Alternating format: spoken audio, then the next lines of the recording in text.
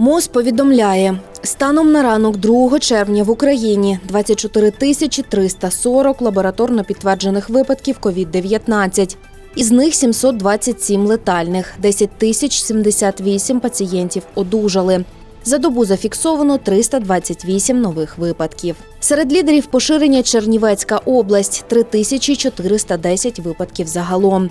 Місто Київ 3071, Рівненщина 1823. За добу виявлено 10 нових випадків COVID-19 на Закарпатті. Загалом у 1216 пацієнтів методом ПЛР підтверджено діагноз коронавірусної інфекції. 275 з яких медичні працівники, 78 – діти. Найбільше випадків у місті Ужгороді 390 загалом. У Мукачеві 183 та на Ужгородщині 165. 96 випадків на Перечинщині, 76 на Виноградівщині, 75 на Мукачівщині.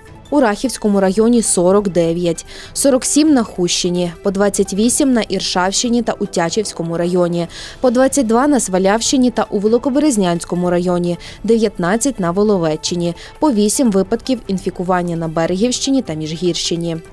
Загалом 410 закарпатців із підтвердженим коронавірусом одужали, 28 на жаль, померли.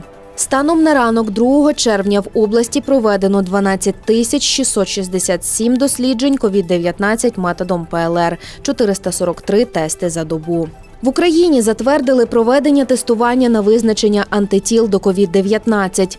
Методом імуноферментного аналізу за минулу добу проведено 1393 тести. Всього 10 тисяч 944 в Україні. Повідомляє МОЗ, в державі існує розгалужена мережа лабораторій для ІФА-тестування, включно із обласними та районними лікарнями.